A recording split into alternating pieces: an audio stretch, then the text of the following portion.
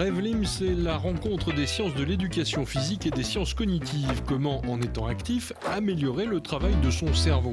En ligne de mire, l'amélioration des conditions de vie en raccourci, aider à vieillir bien. Euh, le vélo cognitif, il nous permet de stimuler physiquement et intellectuellement euh, les personnes en même temps. Donc, euh, on a une partie avant avec un pédalier donc qui permet aux personnes de forcément de pédaler. Donc il est euh, équipé d'un moteur, ce qui permet aux personnes qui ont peu ou plus usage de leurs jambes ben, de pédaler sur le même appareil que les autres. Un jeu qui plaît beaucoup, ça, ça s'appelle Attraper la coccinelle. C'est un jeu qui travaille la vitesse de traitement de l'information. Donc on a une grosse coccinelle à l'écran. Il faut être le plus rapide pour la toucher. Voilà là, hop, on avait mis 10. Quand on ira sur les chemins à bicyclette. La mise en œuvre est relativement simple. Un coach accompagne l'utilisateur ou l'utilisatrice. Un monitoring sous forme de bracelet est utilisé en permanence. Alors ce bracelet, il va recenser toute l'activité qu'a fait Madame Letard sur la semaine, euh, où on va voir pour avoir ses, pulsations cardiaques et euh, les kilomètres parcourus et les pas parcourus. Ah, mais vous avez un espion sur vous, même, le tard?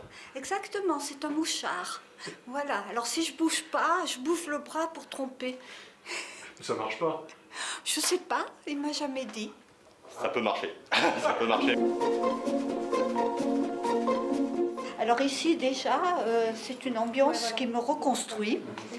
Euh, en plus, ça me fait travailler les jambes sans mon poids, donc euh, je trouve ça euh, intéressant. J'avais à un moment donné mal dans une cheville et au bout de chaque séance, bien la douleur était partie. Ensuite, bon, il y a les tests. Alors les tests, c'est devenu un jeu pour moi, voilà, et j'aime bien jouer. Vous refaites un peu la tête et les jambes là finalement. Oui, j'avais pas pensé, mais c'est vrai, en quelque sorte. Mais je suis les deux à la fois.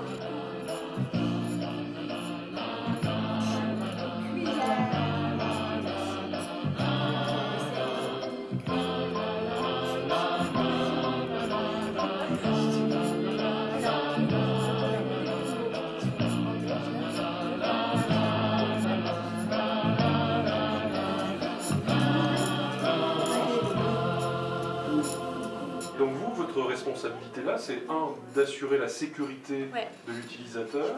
Vous faites attention à quoi d'une façon générale? Eh bien, attention à euh, déjà qu'elle se sente bien. Euh, j'essaye de repérer euh, si elle est trop essoufflée et tout. On dit, on regarde bien la personne. Les rougeurs, tout ça, voir si ça va pas. On écoute ce qu'elle nous dit, ce que la personne nous dit. on est très attentif à ça, s'il y a des plaintes, quelles qu'elles soient. Et puis après, on fait des jeux, on, adapte le niveau en fonction de la personne. si elle arrive et qu'elle nous dit euh, oh, ben aujourd'hui je suis pas trop trop euh, en forme, ben, on va peut-être faire des niveaux un peu plus bas pour euh, lui redonner confiance. Et si elle est en forme, et ben, on la challenge un peu plus. La vieillesse, vous savez, c'est un espèce de fléau qui vous tombe dessus et vous avez toujours peur d'être diminué. Et là, j'ai l'impression que j'ai des recettes pour euh, lutter contre euh, cette diminution des facultés intellectuelles. Pour développer son vélo cognitif, Revlim s'est appuyé sur un éditeur de jeux spécialisé de Toulouse et sur des partenaires locaux pour le vélo et le siège. Il faut savoir que bon, pour les jeux, euh, donc euh, c'est euh, notre partenaire à Pinrone. On travaille avec aussi d'autres partenaires plus locaux, notamment pour la conception du châssis du vélo cognitif. Hein. C'est Coremo Barrière qui nous fait les châssis. On travaille également avec A3D Design pour la conception du vélo cognitif. Reste maintenant à commercialiser cette solution au plus près des utilisateurs, directement chez les clients individuels ou auprès des institutions. Le modèle économique est basé euh, sur bah, la vente euh, ou, la location de, vélos cognitifs. C'est également euh, basé sur les services associés autour de la double stimulation. Donc c'est la formation du personnel.